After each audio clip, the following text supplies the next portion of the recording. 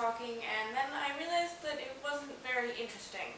So I stopped and I came downstairs to see if I could have some lunch, and then I knew exactly what I needed to do for my video. I needed to make bacon. I'm going to talk to you guys and make some bacon.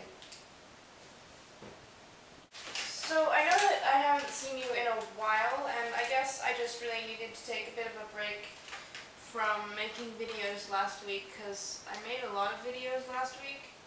Wow, bacon! Um, I apologize in advance to any vegetarians watching. Because I actually didn't make a video for a week after I made my last Across 49th video. But since I made that video, then Across 49th uh, kind of exploded, and along with that, my subscribers, um, although I had actually passed the 100 mark last week, and now I think I'm at 133, and that's really exciting because I made a lot of stuff that I'm really proud of and it makes me really happy to see that other people think that it's kind of interesting too. So to all 133 of you, thanks so much. I really, really appreciate it. Mm. It's my brother's birthday on the 3rd of July and he's having his birthday party tomorrow, so my dad made a cake, so... Uh.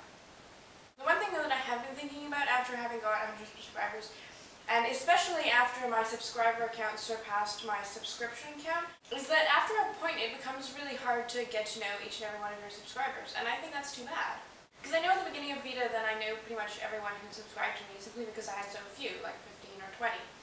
And every time someone new subscribed to me, I would go and check out their channel, watch their videos, say hi, and generally we would become friends because I didn't know that many people. But now, although there are so many people, it's really hard to do that, and although I'm definitely going to go through and check out all your channels. The fact is, I'm just not going to be able to get to know all of you personally, which makes me sad. While I was traveling last fall, I met so many interesting people, and I have to say I became addicted to meeting people.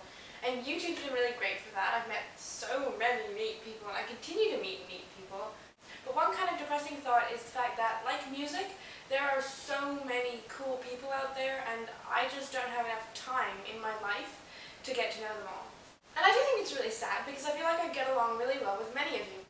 And then like next year when I go off to university, I know I'm going to meet so many more interesting people and all through my life I'm just going to keep meeting these interesting people.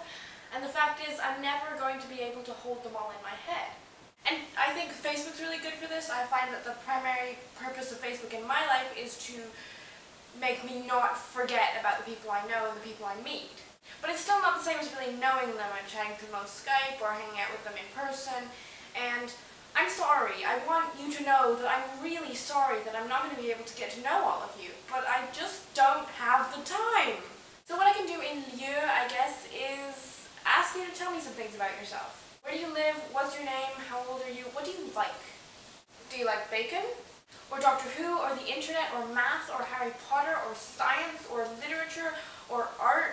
Or just doing nothing. Yeah, I'd really appreciate that. I would like to know who you are because I expect that you are a wonderful person. So I guess you could say this is my 100 subscribers video. It's kind of funny because I'm just basically asking you to do something. I'm not actually doing anything for you. And I feel like it's a bit of a cop-out because I'm not really doing something creative and wonderful and insightful. But I'm sorry, I can't do that all the time because I'm only human and I made an insightful video for Across the 49th yesterday, so there. Mmm, bacon. So yes, that's it for me. Tell me about yourself in comments, and I will see you soon.